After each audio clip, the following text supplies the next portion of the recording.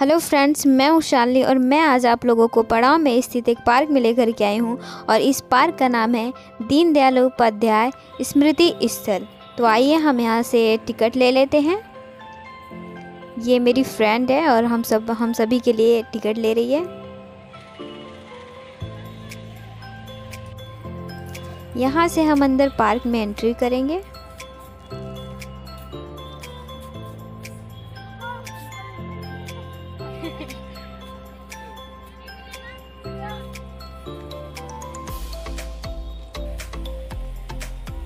Friends, इस park में पंडित दीनदयाल उपाध्याय जी के जीवन और काल से संबंधित सभी जानकारी आप लोगों को मिलेंगी।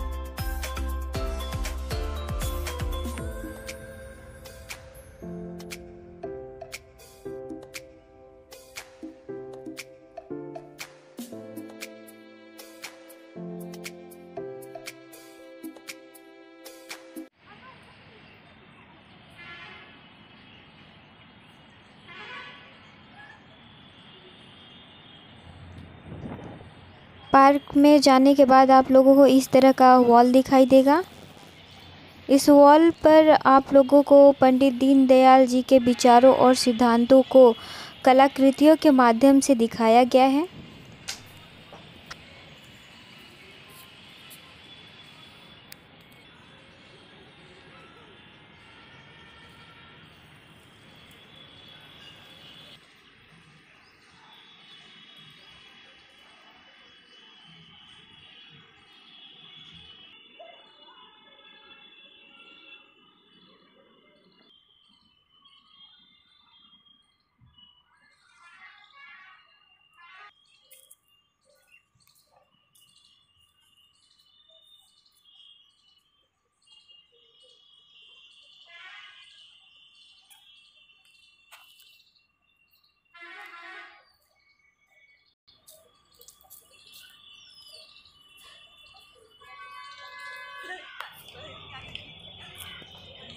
पंडित दीनदयाल उपाध्याय जी के सिद्धांत और विचारों के साथ साथ ही इनकी कुछ चित्र भी बनाए गए हैं, जो आप लोग देख सकते हो।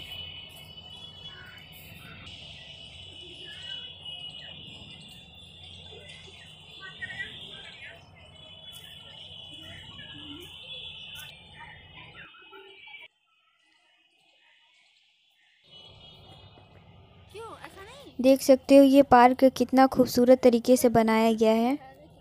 इस पार्क को फूल, पौधे और हरी घास और पौधों से सजाया गया है,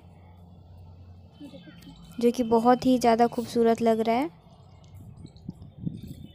और अभी इस पार्क में काम भी चल रहा है।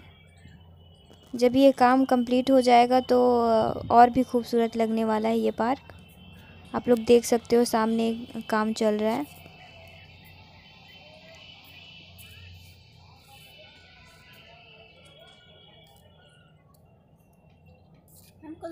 और ये प्रतिमा जो आप लोग देख रहे हो, ये पंडित दीनदयाल उपाध्याय जी का है, जो कि तिरसठ फुट ऊँचा है।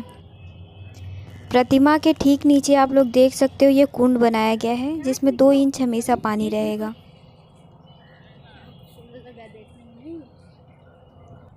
पंडित दीनदयाल उपाध्याय जी के प्रतिमा के निर्माण से पहले इनके बारे में इनके जीवनी का अध्ययन किया गया था। इनके हाव भाव खड़े होने का तरीका और परखा गया था। इसके बाद इनकी प्रतिमा बनाई गई थी।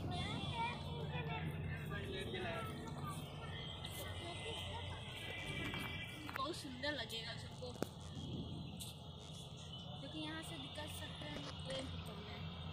से ट्रेन आती जाती है।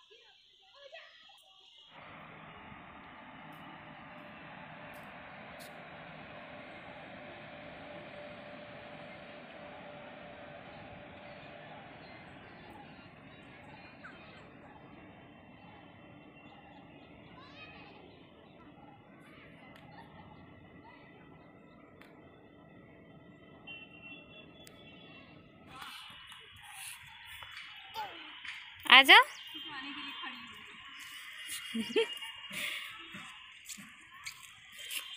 क्या हुआ? फ़ोटो क्लिक करवाना है? हमको जानती हो?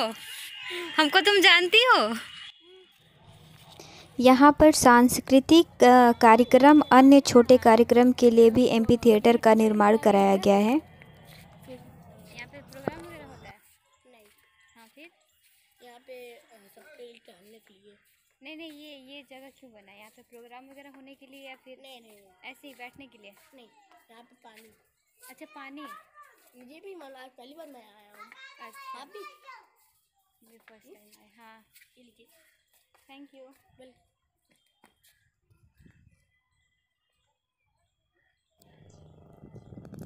इसके चारों तरफ़ छः सीढ़ियाँ हैं। इस पर सफ़ेद और हरा रंग का ग्रेनाइट लगाया गया है। ठीक इसके बगल में ही चेंजिंग रूम भी बनाया गया है।